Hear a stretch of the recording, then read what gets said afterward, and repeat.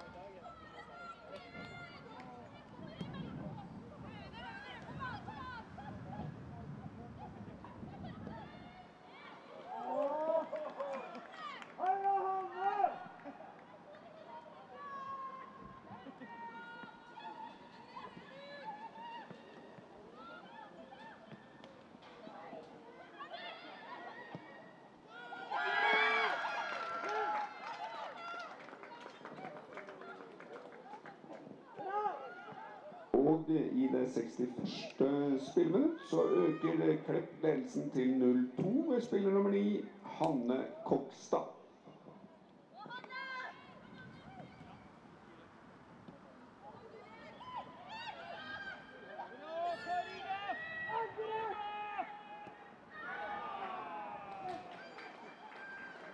Da gratulerer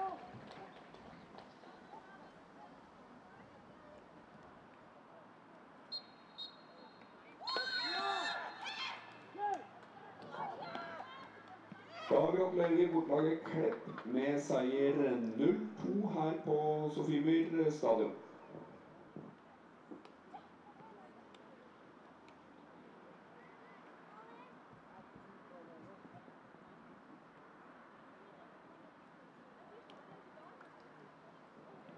Neste hjemmekamp for uh, Kolbotn i toppserien er eh, lørdag 17.